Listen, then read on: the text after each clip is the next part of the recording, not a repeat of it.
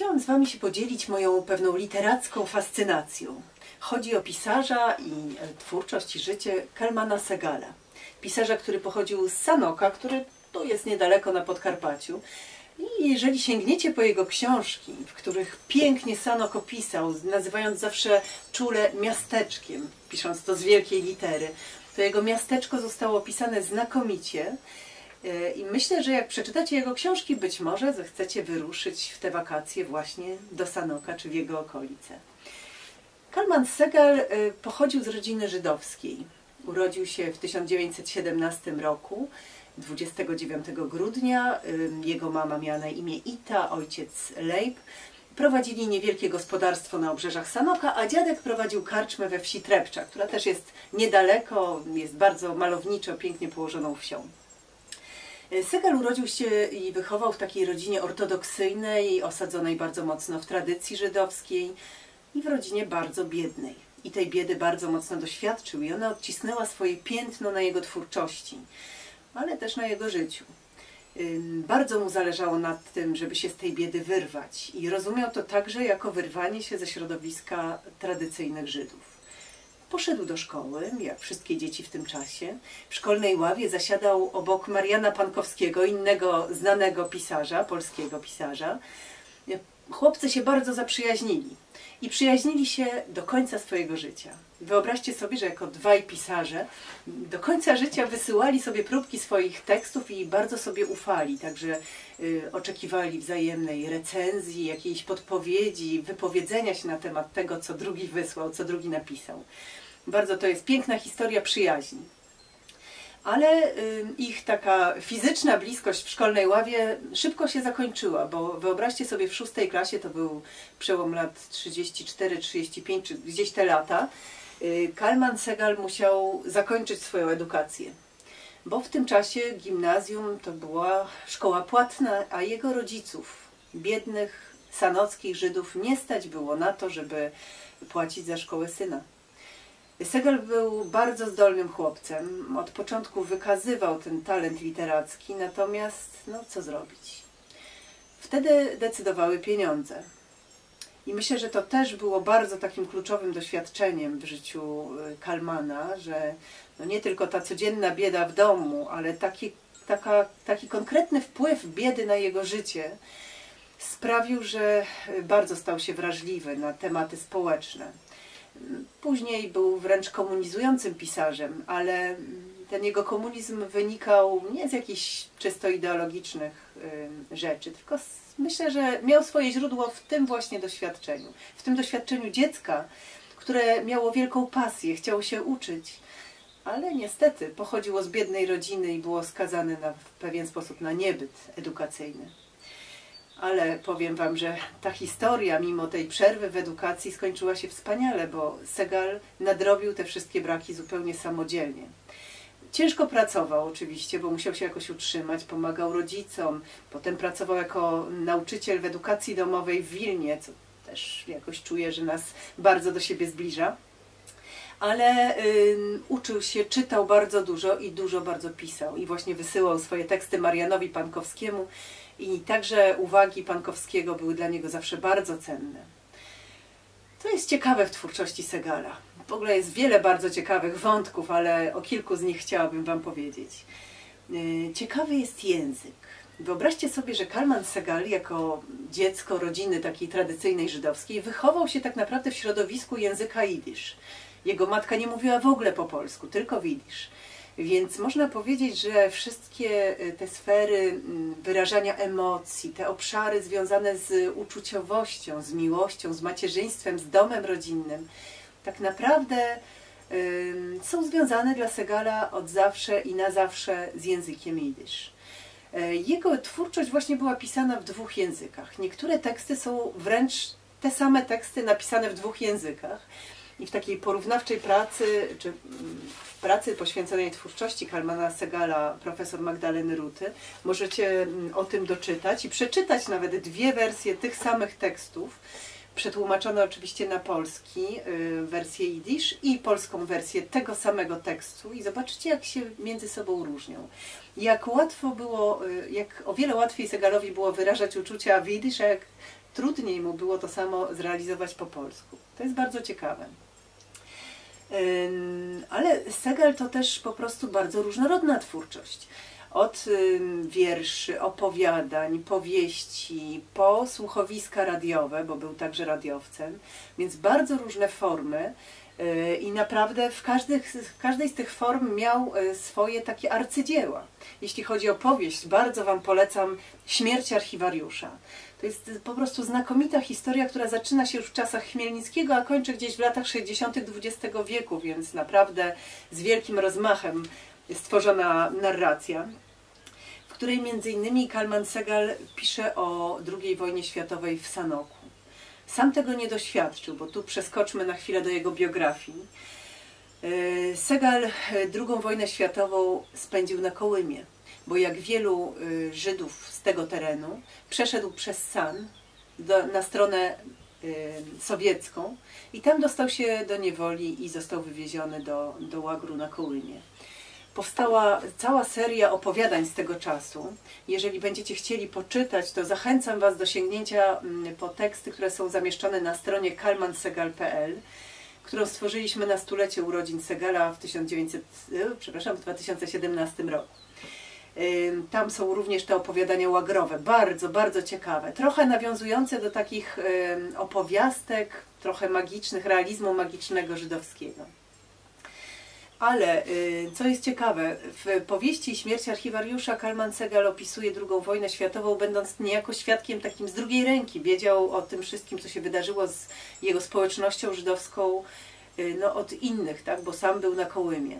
Niemniej, y, jako człowiek niezwykle wrażliwy, jeżeli czytamy ten opis, mamy wrażenie, że on swoją wyobraźnią tam był, przy tych wszystkich ludziach, w ich cierpieniu, w ich samotności, towarzyszył im i naprawdę znakomicie to opisał.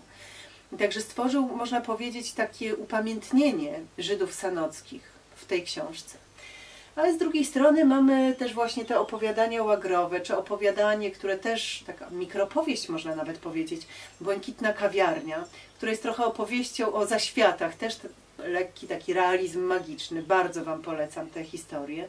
Czy bardziej takie realistyczne opowiadania, e, opowiadania z zabitego miasteczka, pięknie wydane przez wydawnictwo Austeria.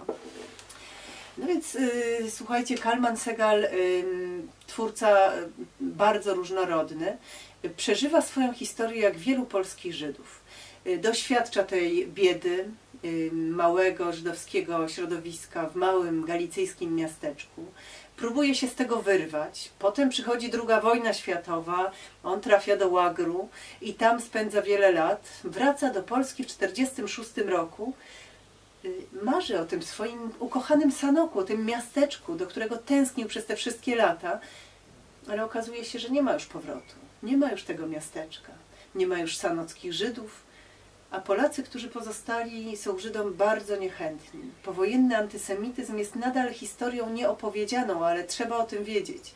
Wielu Żydów doświadczyło tego wracając. No więc Segal szuka sobie nowego miejsca. E, jest przez moment e, w Linz w Austrii, e, ale na koniec ląduje na Śląsku. Śląsk był takim, taką przestrzenią dość przyjazną Żydom w tamtym czasie. Mieszka w Chorzowie, w Sosnowcu, na koniec w Katowicach, gdzie pracuje w Polskim Radio Katowice i tworzy wiele wspaniałych audycji, słuchowisk, także muzycznych, bo był bardzo wrażliwy na muzykę.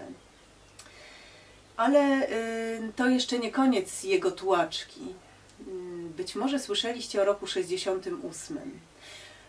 To jest taki, taka data symboliczna, bo to jest cały proces kilkuletni. Trwała taka nagonka antysemicka w Polsce, stworzona i nakręcona przez władze komunistyczne, ale bazująca także na tym, co już jakby ten grunt podatny w Polsce był dla antysemityzmu ale w związku z tą odgórną taką y, antysemicką nagonką wiele osób żydowskiego pochodzenia no, nagle traci pracę, traci możliwość rozwoju zawodowego czy edukacji w Polsce i po prostu decyduje się na emigrację, dostając paszport w jedną stronę. I tak straciliśmy wielu wspaniałych ludzi, twórców, y, naukowców. Zostaliśmy tak naprawdę społecznie i kulturalnie przetrzebieni. I ofiarą tej nagonki antysemickiej staje się również Kalman Segal. Wprawdzie z tego, co mówią źródła, jego środowisko w Radio Katowice było bardzo mu przychylne, bardzo go wspierało i zachęcało do pozostania.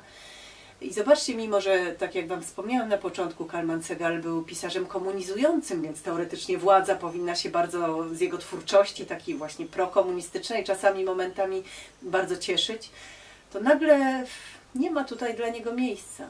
I wprawdzie ludzie właśnie starają się go zatrzymać, on czuje, że musi zachować się solidarnie ze swoim środowiskiem, ale myślę, że cała atmosfera nie jest sprzyjająca i dla człowieka twórczego, dla człowieka wrażliwego, to już nie jest miejsce do życia i do tworzenia.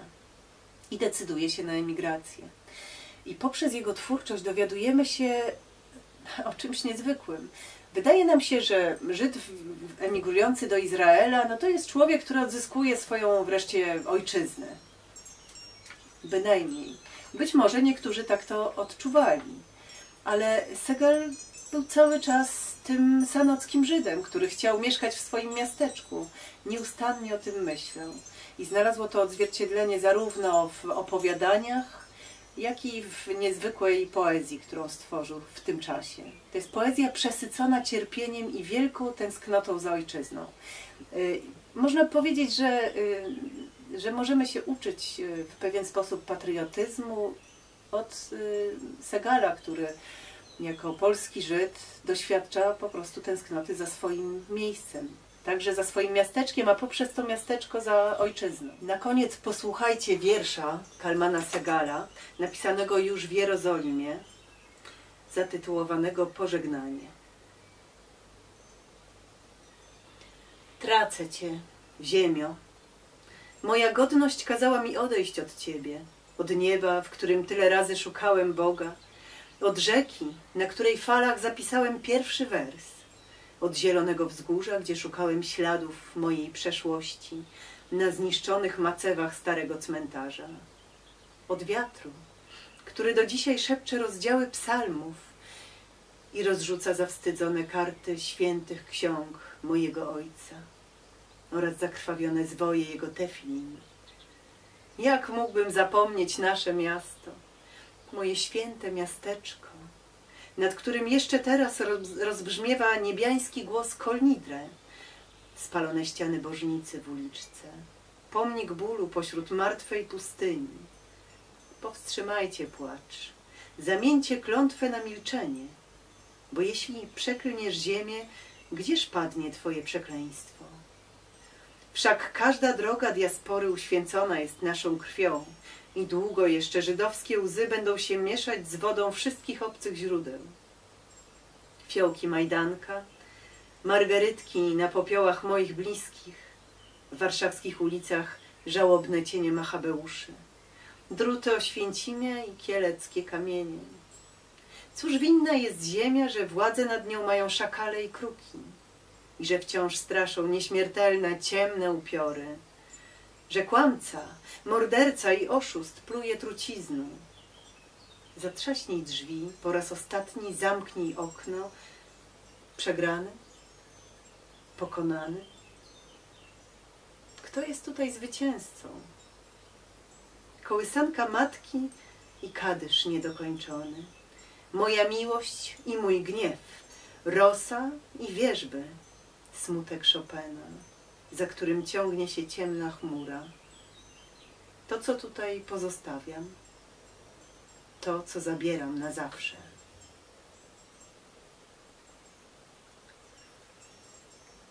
Mam nadzieję, że będziecie mieli ochotę zerknąć do twórczości Segala, tej prozatorskiej i poetyckiej. Zachęcam.